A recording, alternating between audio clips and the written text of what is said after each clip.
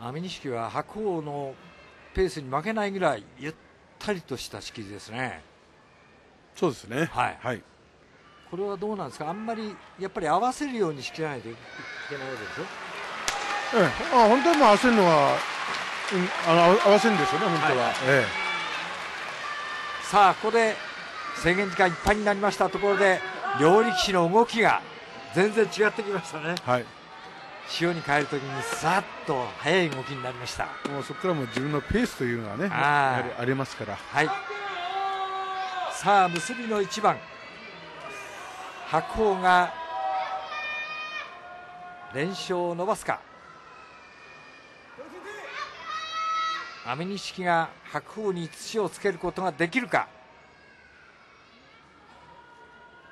お？なかなか立てない。立ちました。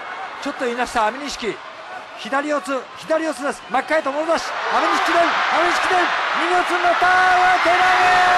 白鵬逆転。6戦6勝です。安美錦やったかなと思いました。しかしさすが横綱。よく残しましたね。やっぱり横綱強いですよね。慌てないと言いますかね、ええ